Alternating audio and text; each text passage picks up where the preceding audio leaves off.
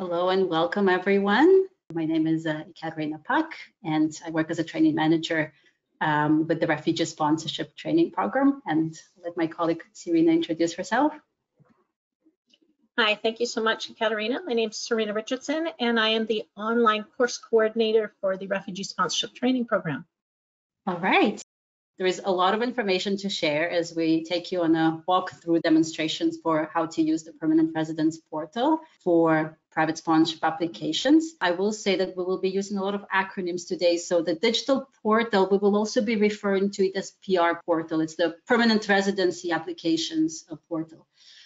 We will also be providing micro learning video clips on our YouTube channel for some of the basic steps that you may want to refer back to without having to preview the lengthier training session recording. And uh, we will also be providing you with the handouts, um, which has some additional information that we will briefly mention, but not be going into detail about today. In this handout, you will find a list of terms and definitions as it relates to the online portal a chart of the uh, portal user roles and permissions. And um, there is also, there will be a copy of the information on how to determine who should be the primary sponsor, um, which you would have learned about in the previous information session on the digital portal that we uh, delivered a few weeks ago. If you did not participate in that webinar, it's not a problem. You can find the recorded video on your YouTube channel under the playlist for the PR portal.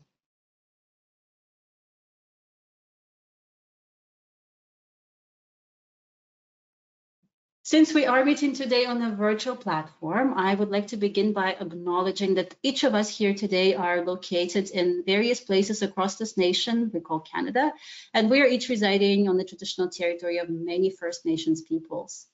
Uh, I would like to specifically acknowledge that Toronto, uh, the location of uh, the RSTP's main office, is situated on the lands of many First Nation peoples, including Mississaugas of the Credit, the Anishinaabeg, the Chippewa, the Haudenosaunee, and Wendat peoples, and is now home to many diverse First Nations, Inuit, and Métis peoples. We also acknowledge that Toronto is covered by Dish with One Spoon Wampum Belt and Treaty 13 with the Mississaugas of the Credit. Uh, we invite you to personally dedicate time to learn about, reflect on, and acknowledge the history and lands of the First Nations peoples where you reside and to personally consider how we can each in our own way move forward in a spirit of reconciliation and collaboration.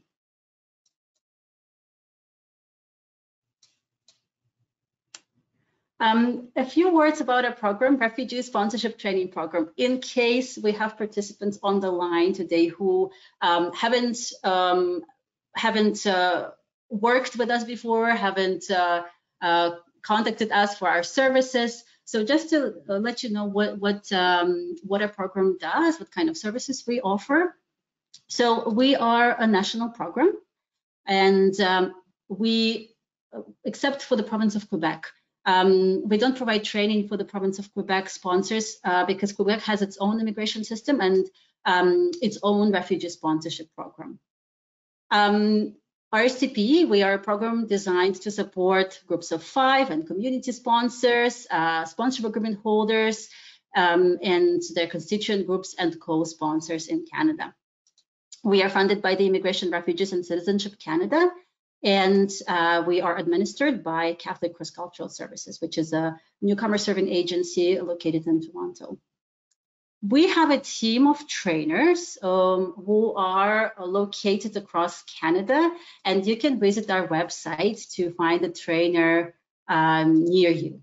This is our website, rstp.ca, and you can find um, a list of our team members in different locations um, under the Contact Us um, page. So what do we do?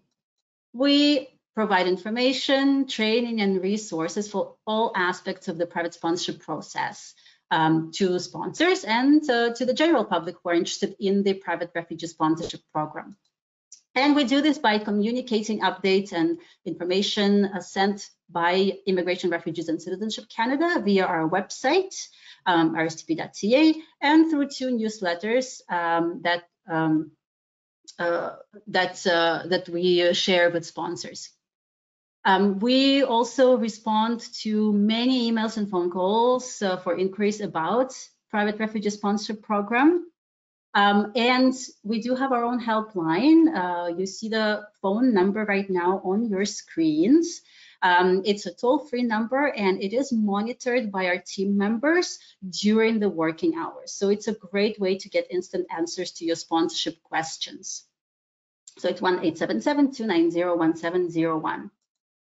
Uh, we also have a variety of online resources on our website, such as fact sheets, uh, best practices manual, minimum financial support calculator, um, and also videos of the past training sessions.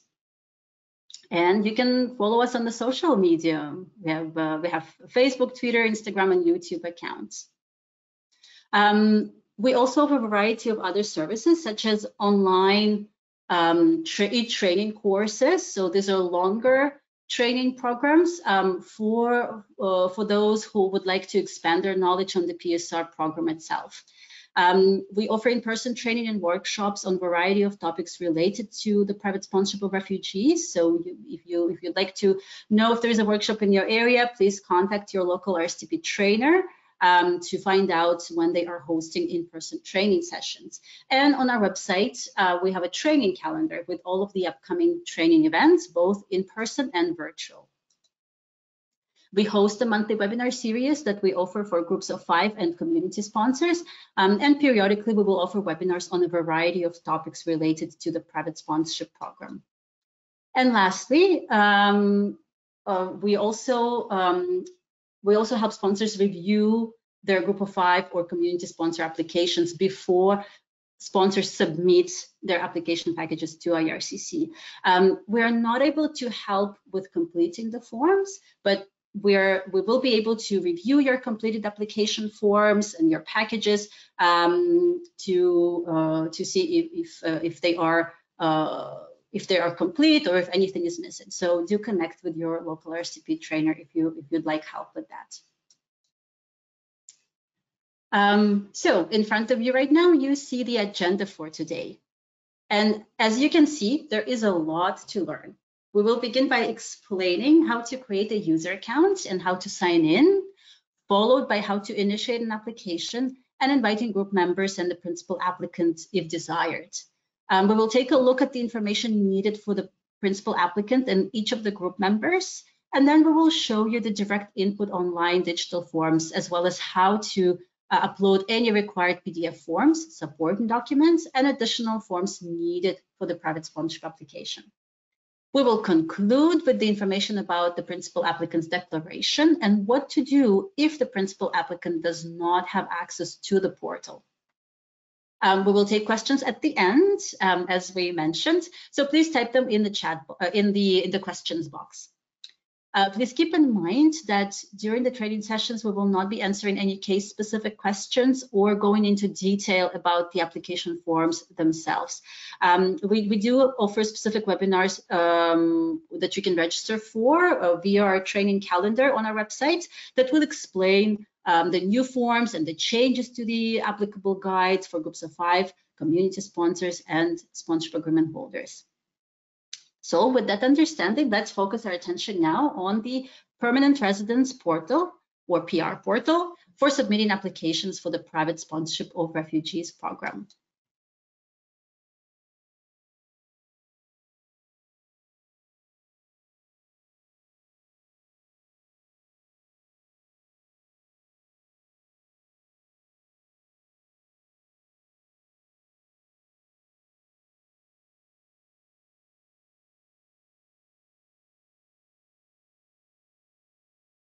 The permanent resident portal existed before, and in fact, it is used uh, for other immigration streams. Now, from November 1st, it has been expanded to include online submission of private sponsorship applications.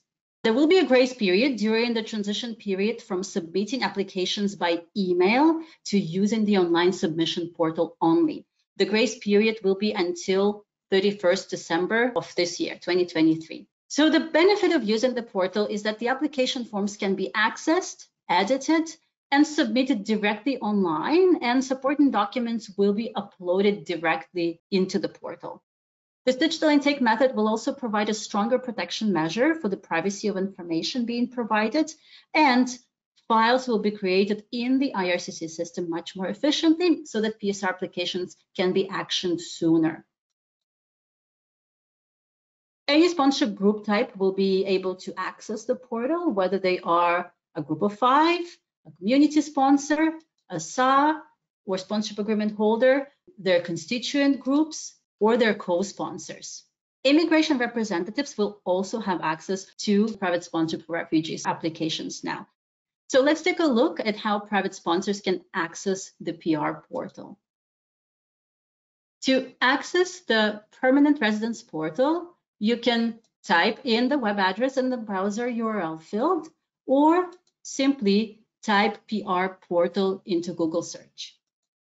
Once the web page opens, you will see the title and the description for the portal. And below that, you will have the option to sign into your account here. And if you ever forget your password, you can reset it here. But if you don't already have an account, you have the option here to create a new user account. When you first create a user account, you will need to provide a working email address, which will be associated with your PR portal user account. For groups of five, you will need to provide a designated personal email address that you intend to use for communicating with IRCC. Be sure this is an email, an email address that you check um, regularly. And please note that once a PR portal user account has been created, you cannot change the email address associated with this user account. For community sponsorship groups, you may want to create a designated organizational email address that you will use for all communication with IRCC, which will also be associated with your organization's primary sponsor user account in the portal. So for example, if my organization's name was Lifeboat, then the email address to use for the primary sponsor could be sponsorships at lifeboat.org. Again, you cannot change the email address associated with this user account once it has been created. Whatever email you decide to use uh, for your PR portal user account, this should be the same email address that you use to send correspondence to IRCC if you ever need to contact them regarding an application that has been submitted via the portal. Next, you will need to choose a password that has a unique combination of letters, numbers, and characters. If your password doesn't meet any of the six parameters listed here, the missing requirement will not have a green check mark next to it. In this case, we do not have any specific characters in the password. Once you have entered a password that meets each of these requirements, click on the checkbox to indicate that you have read and accepted terms of use and privacy policy. Then simply click on the Create Account button. You can now expect to receive an email that contains a unique verification code. Check your spam folder if you do not see it in your inbox. You will need to enter the code into this field in order to complete the user account registration. And once you have entered the verification code, click on the Complete Registration button. If you have entered the code correctly, you will see a green confirmation box appear at the top of this page. Your user account creation is now complete, so you can now use the email address and password which you had chosen during this account creation process to log into the PR portal. To access the permanent resident portal, you can type the web address into the browser URL field, as you can see on, on the screen right now, or simply type PR portal into Google search to find the web address. Once the web page opens, you can sign into your account with the email and password associated with the account, and then click on the sign in button. When this page opens, you will know that you are signed into your account because at the top right side, you will see your email address displayed and an option to sign out. In order to submit applications to IRCC using the portal, one of the sponsorship group members must be designated as the primary sponsor. In a moment, we will discuss in detail how to decide who the primary sponsor should be. But for now, what you need to know is that this will be the person who will initiate the application. The key things to keep in mind when deciding who will be the primary sponsor is that they have specific responsibilities, such as they will be the only one who can invite or delete group members and submit the completed application to IRCC. Once the application has been initiated, the primary sponsor will add the names and email addresses to the application for each of the other members of the sponsorship group. They can also invite the refugee principal applicant, although this is completely optional depending on whether the refugee applicant has access to reliable internet or not. And we will talk more about that in the next few slides. So once the group members have been invited, an automatic email invitation will be sent to each of them. Now let's take a closer look at how to decide who the primary sponsor should be. For a group of five, any one of the group members can be the primary sponsor. So whoever initiates the application first will have that responsibility. For a community sponsorship group, it will be a best practice to set up a single designated email address for the primary sponsor user account for initiating all of your applications.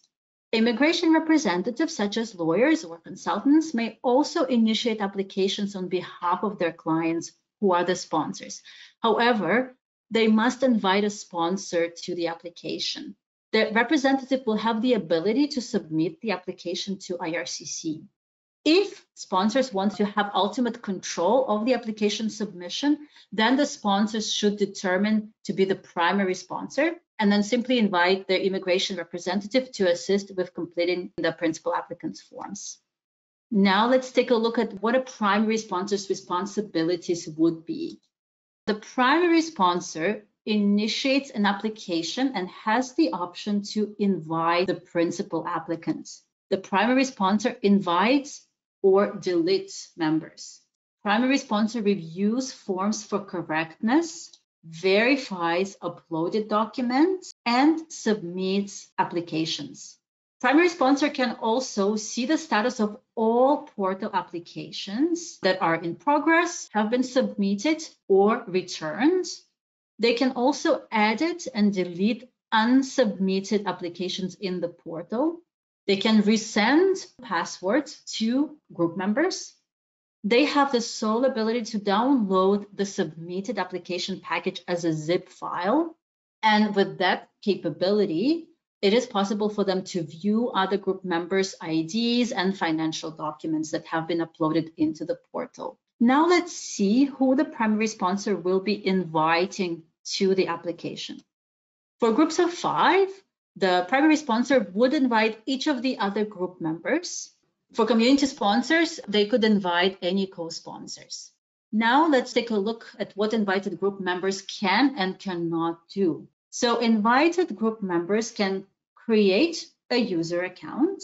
They can see a listing of applications they have been invited to. They can view and edit the refugee forms.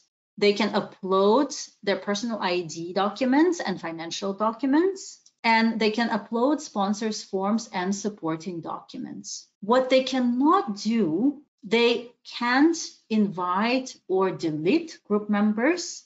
They can't submit or delete applications they can't view or edit applications they're not invited to, and they cannot access other group members' uploaded personal documents such as ID documents or financial documents. So basically, the person who is designated as the primary sponsor should be comfortable with technology and should be able to manage all documents uploaded by all group members. But keep in mind that this person will also have access to very sensitive information on, on all of the other group members. So it is recommended that all group of five members discuss who will be designated as the primary sponsor for this application. Now let's take a look at how to initiate an application. You will need to scroll down to the page until you see this section here. The right side of the page can be disregarded since this function is intended for persons who are already in Canada and who need to apply for or renew or replace their permanent resident card or permanent resident travel documents. The left side of the page is where you have the choice to either start a new application or to view your existing applications. Just a reminder that only a primary sponsor will click on the Start New Application button, since they are the only ones who will initiate the application. For other group members who have been invited to join an online application, you would select the View My Permanent Resident Applications button. Before we continue on to see how a primary sponsor will initiate a new application, let's take a quick look at an example of what the listing of permanent resident applications will look like after they have been created in the portal. As you can see, we have several applications listed in this example, and you should be aware of a few things when accessing your own listing of applications.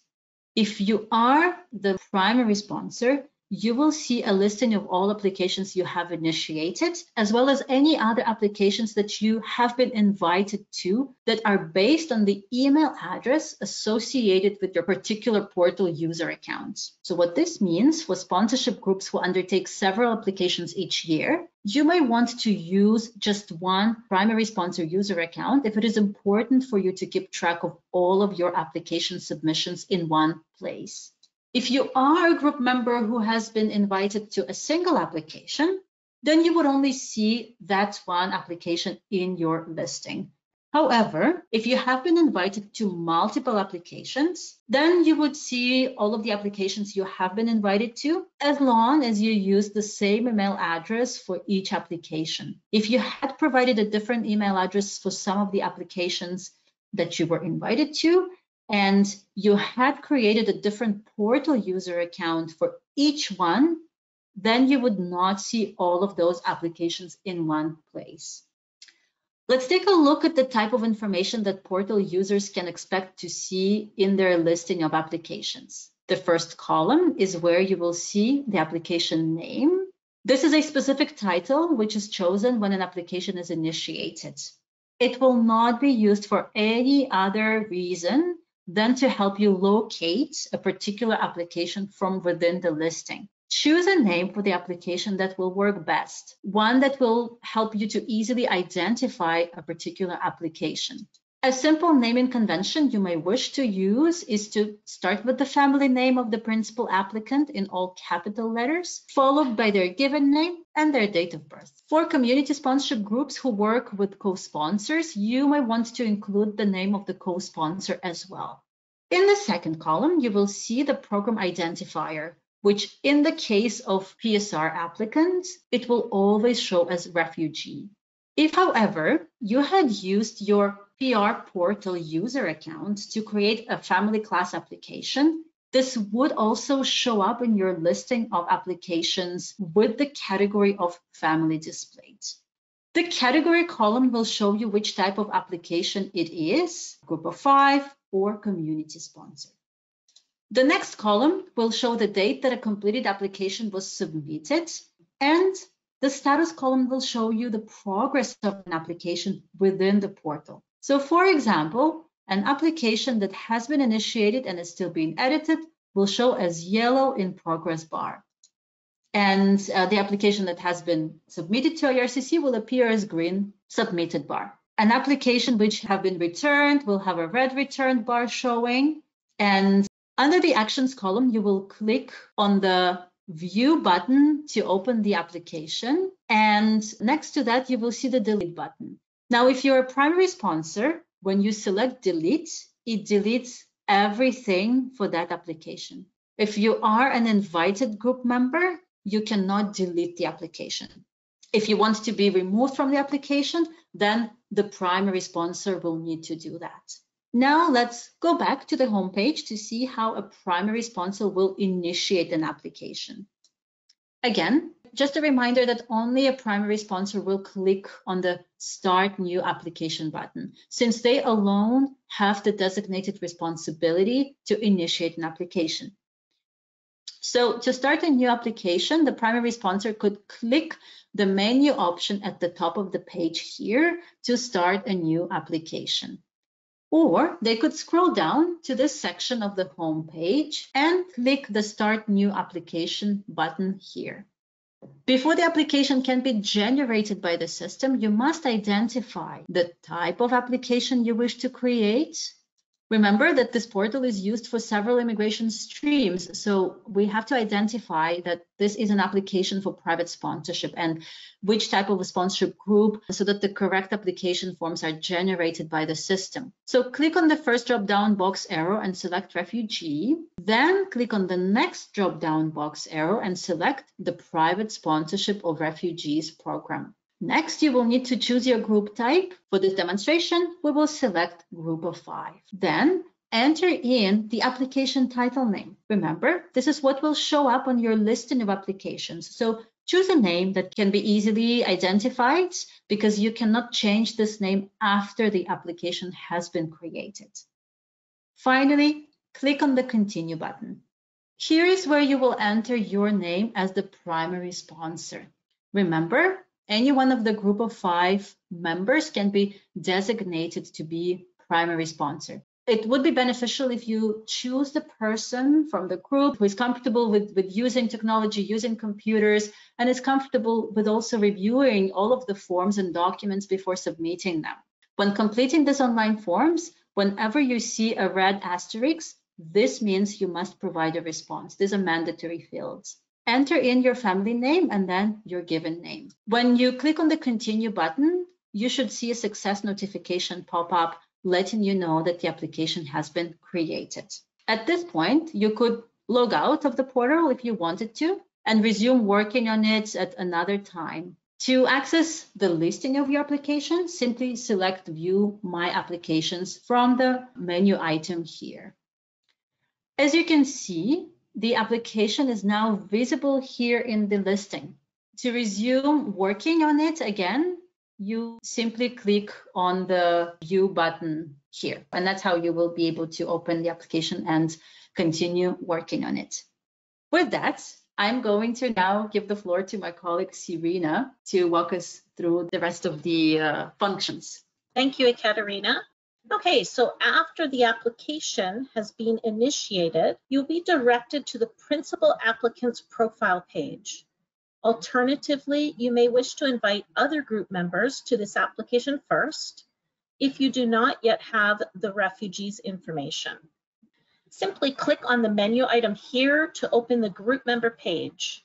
For groups of five, there will be a notification symbol displayed, like this one, when there are still group members who have not yet been invited.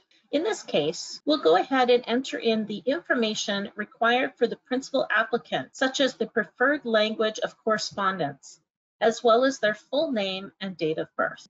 Next will be the mailing address information and an option to select whether or not their residential address is the same as their mailing address. If it is not, you would need to insert information for the current place they are residing. Next, you would click on the button to add a dependent of the principal applicant if it's applicable. An input box will open up for you to complete. And once you've entered in the information, the Save Details button will become active. Then you will click on it to save the information, and you can now see that a dependent has been added. You can also go back and edit the information if needed. Or you can delete the added dependent. Or you could go on to add another dependent if you wish, or come back to add more dependents at a later time. When you are finished, click the Save and Continue button. Now let's take a look at how to invite people to the application. Remember, the primary sponsor is the only one who can add the other signatories to the application. So for a group of five, the primary sponsor must invite a minimum of four more group members. If you're a community sponsor and you're working with a co-sponsor, you can invite them as a group member here. Remember, when you add a person as a group member, they can fill out the forms and upload documents, but they do not have the ability to submit the application Only the primary sponsor has this ability. Click on the Invite Additional Sponsor button, and this will open up the section where you will insert their information. Then click on the Send Invite button. Doing so will send an automated email to the person you have invited to the application. They must then follow the unique link in the email sent to them and log into the portal using the same email address that the invitation was sent to, and to use the temporary password that is provided in that email as well. Now you can see that the person we have invited is included here. Each invited person's information will appear as separate blocks of information. For groups of five, there will be a warning message like this when there are not four or more additional group members invited. So once you have invited at least four other members, this warning message will disappear. If you need to remove a group member, it can be done here, but only before the application has been submitted. After submission, you would need to contact IRCC if a group member needs to be replaced. And just a reminder, only the primary sponsor can remove group members from the application. And the primary sponsor also has the ability to resend a temporary password to an invited member if they did not open the email they had received within 30 days of being invited the temporary password expires after 30 days. Invited members will only be able to click on the More Details button for their own block of information. They cannot access the protected details for other group members. This protected section is where any documents which contain sensitive information are to be uploaded. Only the invited person and the primary sponsor will be able to access and view documents which have been uploaded here. As you can see, for an invited group member, there are several documents to be uploaded in this section. Sponsors must closely follow the IMM 2200 guide for groups of five or the IMM 2201 guide if you are a community sponsor to ensure that the correct required documents are uploaded here, even if a particular item listed does not have a red asterisk within the portal. All group members will need to upload as a minimum their sponsor assessment, proof of status, and police check. Simply click on the upload button next to an identified item in this listing that you're going to provide a document for. There are other items that may need to be uploaded here, but which do not have a red asterisk next to the item name. So for example, for an invited group member that is contributing funds from their personal source of income, a financial profile will need to be uploaded. The same goes for uploading the CRA Notice of Assessment document. Each person providing funds from their personal income will need to upload the notice of assessment document under the proof of fund category here. Yet for group members who are not providing funds for the sponsorship, they do not have to upload a financial profile or provide proof of funds for their personal income. When it comes to uploading the proof of funds, such as bank statements or funds held in trust, details of deposits, signed stamped letters from the bank, or statements from fundraising activities, etc., IRCC requests that these documents be uploaded by the primary sponsor under the other option for uploading. And for each uploaded document, wherever it's uploaded in this portal, there is a specific naming convention that should be used. And there are other file preparation requirements that you will need to follow before uploading documents to the portal. And we'll take a look at those naming conventions in the next slide. So the uh, required file preparation that you will need to do includes particular file types and file size, file naming, and acceptable characters to use when naming those files. So the type of files that are accepted are PDF files, or image files such as JPEG, JPEG, or PNG, or document files such as doc or docx.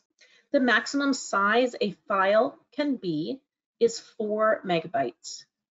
And there will be a warning message in the portal if your file size is actually too big. If you need to reduce a particular document's file size, you can use a free online website called ilovepdf.com or a similar online tool. When uploading images, the smallest resolution size should be 420 by 540 pixels. And for file naming, you must include the last name of the individual, followed by a dash, and then the first name, followed by a dash, and then the document type that it is, followed by a dash, and then you would add an item number if you're uploading multiple files using the same document type name. And ROC-O, the Resettlement Operations Center in Ottawa, has confirmed, however, that they would prefer PDFs where multiple files are merged into one document rather than uploading separate PDF files for the same document type. And we'll explain this further in the next slide. The allowable characters that can be used when typing your file name are upper and lowercase letters, numbers, dashes, underscores, or a dot. So for francophones, this is particularly important because you cannot use French keyboard letters that have accents, even when it is for a person's name. So we're going to take a look at a case example so you can understand better how to create your file naming for the documents you're going to upload. And so it's going to be based on this particular principal applicant, their spouse and child, and sponsors. So for example, if the principal applicant has some documents to include for proof of education, such as a diploma and a certificate. These documents could be saved as separate files and using file names that are exactly the same, except that they include a sequential number at the end. Or if you're able to merge these documents into one PDF file that is less than four megabytes in size, then ROC-O would prefer that. When uploading photos for this family, each photo can be uploaded separately, where the file name must include the name of the person in that photo. So for example, this is how each of the photo files would be named for this principal applicant, their spouse, and their dependent child. However, again, if you prefer, you may merge all of the photos into one PDF file that is less than four megabytes and simply use the principal applicant's name along with the file name photos. When it comes to file naming for specific forms and other supporting documents, be sure you are using the appropriate names based on the document being uploaded. So for the principal applicant schedule 2, you would include the name of the PA and the title of the form, which is, of course, Schedule 2. The same goes for the RSD document, the Refugee Status Determination document. You would use the principal applicant's name and include RSD for the title. And the same goes for the principal applicant's declaration. And you'll learn more about the declaration page in later slides. If you're uploading the undertaking document, you can use the principal applicant's name followed by undertaking as shown in the example here. When you're uploading specific forms or documents for individual sponsors, you must include the individual sponsor's name, as well as what the document type is. For example, the financial profiles would be named according to the sponsor it belongs to, as in this example here. And the same goes for the sponsor assessment forms, or for any ID documents for proving a sponsor's Canadian status. Once you've invited the group members, if you scroll down the page, you have the option to invite the principal applicant.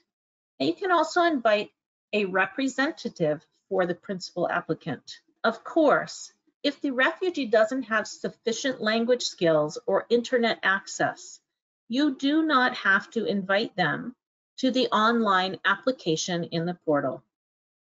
Sponsors can select no here but they will need to upload a PDF version of the refugee's digitally signed declaration form. And you'll learn more about that again in some upcoming slides.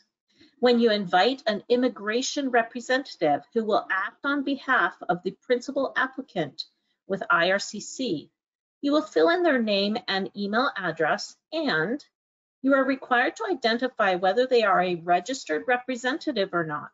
Registered representatives are paid representatives, such as an immigration lawyer or licensed consultant. If the intended representative is not registered, they are considered to be unpaid representatives. Regardless of being paid or unpaid representatives, they will need to upload the use of representative form, which authorizes them to act on behalf of the principal applicant.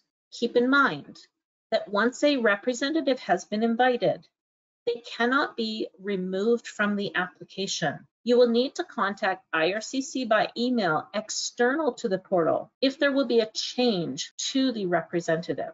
When you select the no option here, meaning that the representative is not being paid to act on the principal applicant's behalf with IRCC, such as a family member in Canada who's not a party to the sponsorship.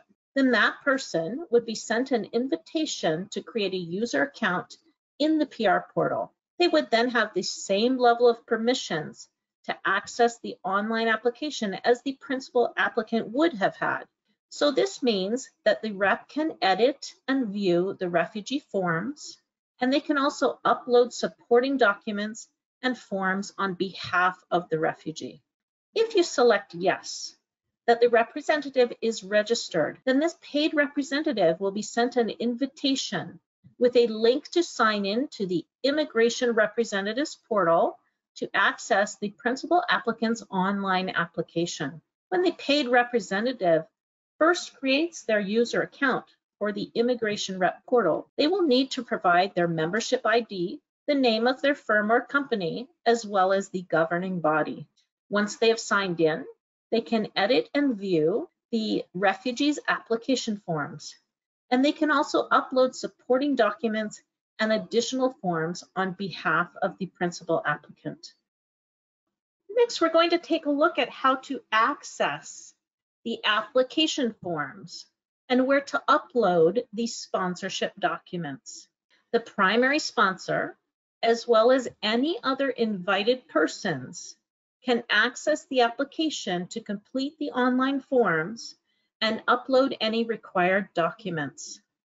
To access this page, you would click on the application menu item here at the top right. On the left side, you will see the quick navigation menu for this particular web page. These are simply quick links to jump to a particular section of this page. If this is your first time viewing the page, however, please do take the time to scroll down manually and read the information provided for you. In particular, you will want to scroll to the Before You Start section, where there are links for you to access the relevant guides and checklists which you will need to refer to when completing the application forms. As you can see, in these instructions, you will not need to select and complete every single form that is available within this page. As we mentioned earlier, this portal is used by other immigration streams. And so not all of the forms are going to be used for private sponsorship of refugee application submissions. This is why it's very important to follow the guides and document checklist, which are linked here to ensure you are including the correct items. Now let's click on this quick menu button to jump to the IMM 008 section.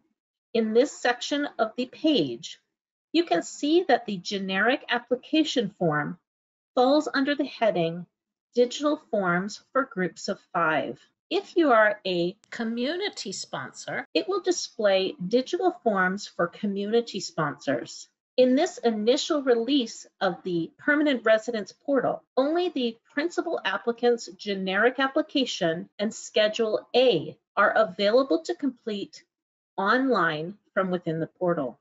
Below this section, you will see the PDF forms section. which contains the required undertaking form for your particular sponsorship group, as well as the Refugees Schedule 2 form. The sponsors forms and Schedule 2 can be downloaded from the provided links below the form number. These forms are to be completed offline, meaning you do not need to be logged into the portal to complete them. When these PDF forms have been completed and signed, and the file has been saved according to the correct size and naming convention, simply click on this button to upload the undertaking form and click here to upload the principal applicant schedule 2. If there are any dependents over 18, you will need to click this button again to upload their schedule 2s as well. Now let's take a look at the online version of the generic application. You will first see some information to read before proceeding to the form. Be sure to click on the link for the instruction guide, which will guide you in how to complete this form. You should also have copies of supporting documents for the refugee family, for example, passports or national identity documents, or the RSD document because you will need to fill in their personal information based on those documents. Then click on the Continue button. On the left side is a new menu tree, which will show you which section of the online generic application you are on. You will not be able to navigate to the next section until all of the required fields have been entered and saved. In this particular section of the form, you'll notice that the online version does not indicate that this particular question is a required field. This does not mean you can leave it blank. Remember, the generic application form is used by several other immigration streams, and some of them do not have to complete this field. But for privately sponsored refugee applicants, it must be filled out, or it will be returned by IRCC. You should always follow the guide when completing this form, so you won't omit any fields that are required for private sponsor refugee applications. When you have entered in any fields with the red asterisk, you can click on the Save and Continue button to proceed. You can certainly go back in again at a later time to fill in the remaining fields that are necessary for PSR applications. And once you have navigated through each of these sections and completed all of the fields with the red asterisk, you will see a green check mark next to each menu item. Again, this does not mean that you have filled in all of the required information within each of these sections. It simply means that the fields with the red asterisk have been entered and saved. When you get to the dependents section, it's important to read the information displayed here. In particular, you will need to click on the link here to open the principal applicant's profile page if you have not yet added their spouse or partner or dependents to the application. You must do this first before moving on to complete the personal details for each dependent, which will be listed here after they have been added to the principal applicant's profile page. Once you've completed all of the personal details for each dependent, a completed status will be displayed.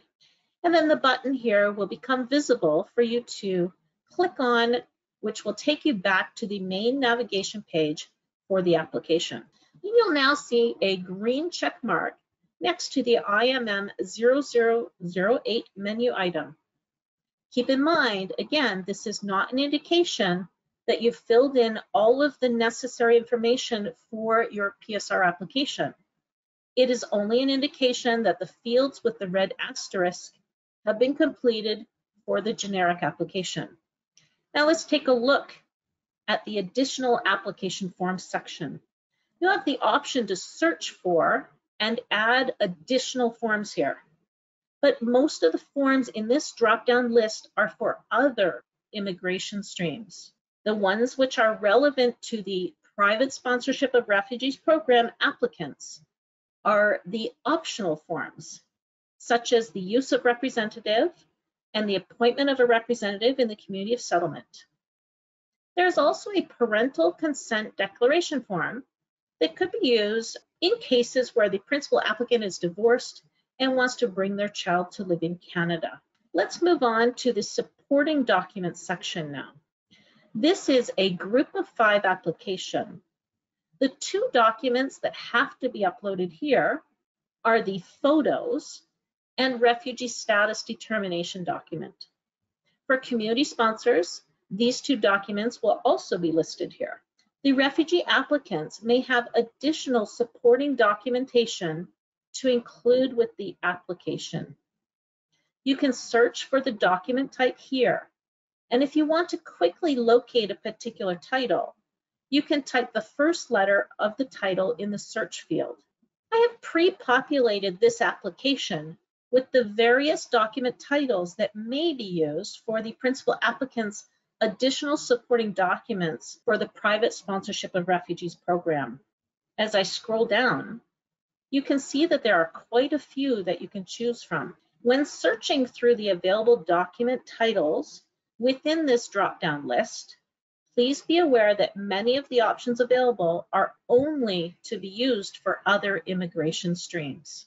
In particular, you should not use the title option called Translations and Affidavit. Instead, you are expected to include the translation in the same PDF file as the original document. So for example, if the principal applicant has a police check to upload, you would select the title option called Police Report, then upload a PDF document that includes both the police report and the translation together in that one file. The file naming convention for this PDF document would need to have the principal applicant's family name, a dash, the PA's given name, and another dash, followed by the title, Police Report. Now let's go to the last section, the principal applicant's declaration. If the principal applicant was not invited to the application previously, you will need to download a PDF version of the consents and declarations form for the principal applicant to sign. If you do not see this link here to download the form, and the upload button appears to be grayed out, this is a good indication that you left the toggle option on yes instead of no within the group members page. Click here to access Manage Group Members page. Toggle this mm-hmm. option to No.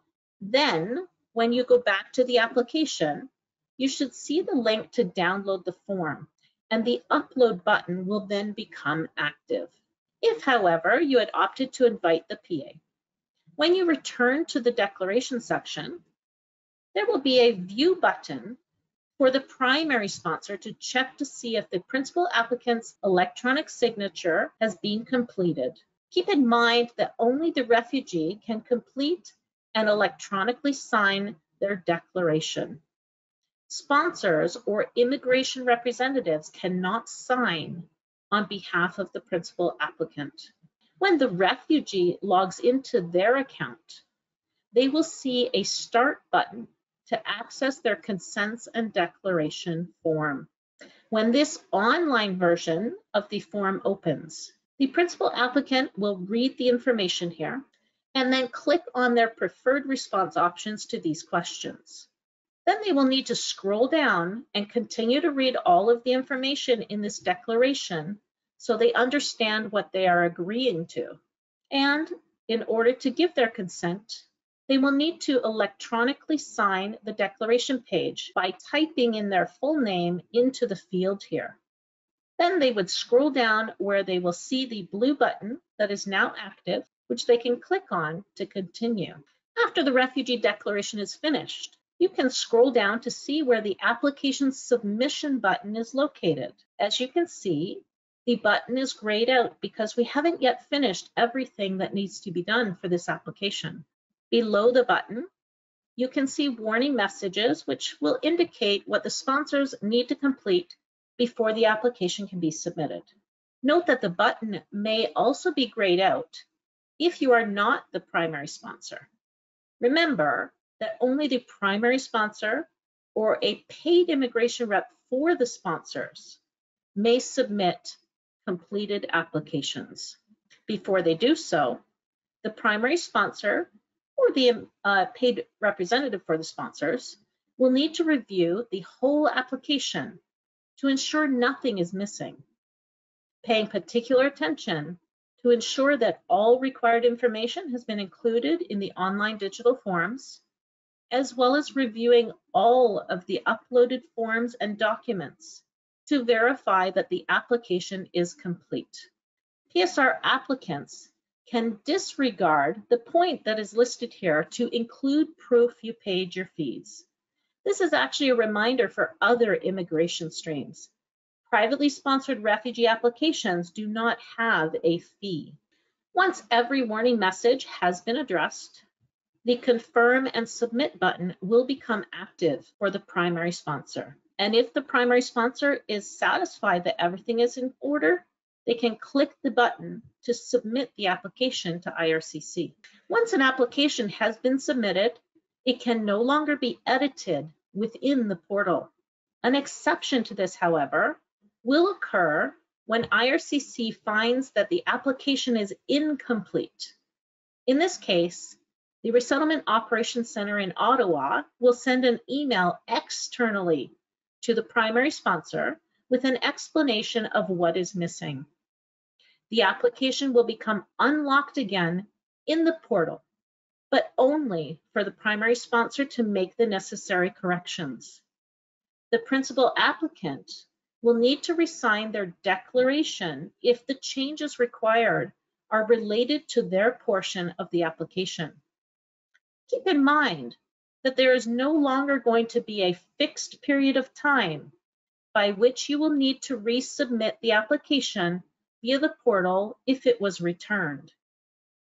This is because the processing time will not begin until a complete application is received by ROC-O. So if the sponsor waits 30 days to resubmit the corrected application, then the processing date timestamp for placing the application in the queue for processing, so first in and first out, will not be until that later time frame. The application submission date will be according to the most recent submitted application. It will not be backtracked to the date that you originally submitted that application. Now let's take a look at when you can expect to receive an automated email. The permanent residence portal will send out automated emails following certain user actions. The first auto email will be sent out to the primary sponsor who initiates an application. They will be the only one to receive this notification informing them that the application has been started in the portal. If the principal applicant has been invited to the online application, then they will receive an email notification with a unique link inviting them to log into the portal. The same goes for other sponsorship group members. They will each receive an automated email with a unique link to log into the portal. If there is an immigration rep for the principal applicant, so for example, an unpaid representative, they will also need to be invited and will need an email notification with a unique link to log in to the portal. If, however, it is a paid immigration rep who has initiated the application as a representative of the sponsorship group, then they are required to invite the primary sponsor when they initiate the application so that the sponsor will get an invitation notifying them that they've been added to the application. In this case, the primary sponsor has the option to access the portal to view and edit the application. But this is not necessary, however. The principal applicant may just want to leave it up to their paid representative to solely access the portal to complete the application on their behalf. The key reason the sponsor is being invited to the application is so they will receive the auto email notifications from the portal. When a group member is removed, the primary sponsor or paid representative for the group, and all invited persons are notified.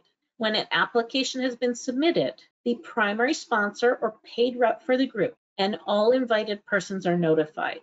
When an application is returned, however, only the primary sponsor or paid representative for the sponsorship group will be notified. This is because they will need to ensure that the declaration is signed again once the issue has been rectified. And please note that once the application has been screened by an officer and is deemed complete, an acknowledgement of receipt email notification will be sent external from the portal. It will come from the Resettlement Operations Center in Ottawa and will include the G number. All other correspondence after this point will be done external to the portal. So this means that the process for sending or receiving updates on the application will remain the same as before the portal was launched. So what cannot be submitted through the permanent residence portal? One-year window applications. You will submit these via email as per the current process. And blended visa office referred applications. You will submit these via email as per the current process as well. Joint assistance sponsorship applications. Sponsorship agreement holders will submit these via email as per the current process. And when a new dependent needs to be added after the application has been submitted to IRCC, you will need to email IRCC external from the portal. And for any other updates on the sponsorship, sponsors should follow the current process, which is to submit changes via the IRCC web form. Then we're going to go through a few frequently asked questions and so these questions may have come to mind regarding this new online portal submission method. You may be wondering, how do I access the portal? What equipment do I need? So any computer, tablet, or mobile device can be used. You just need an internet connection and a web browser, such as Google Chrome, Microsoft Edge, Mozilla Firefox, or Apple Safari. This is the web address for the digital portal. You also may be wondering how sponsors will submit applications if they don't have the technical knowledge or skills to even be able to use a computer. Well, IRCC does recognize that the PR portal may present an accessibility barrier for some clients. So applications submitted by mail will still be accepted. Keep in mind, however, mailed applications will take longer because they still need to be digitized. And where would you get information or help for using the online portal? Well, each of the current guides to the private sponsorship will be updated to include instructions for submitting applications online. And you can also request help through the IRCC web form. RSTP has a walkthrough training webinars, which you can register for. But we will also, as we mentioned, be posting demonstration videos on YouTube, which will address frequently asked questions about using the portal and how to create a user account, how to log in, etc. And we will also have a list of frequently asked questions posted on the RSTP website. So that's the end of our presentation. Thank you very much. Um, wishing everybody a good evening. Thanks, everybody. Have a good night.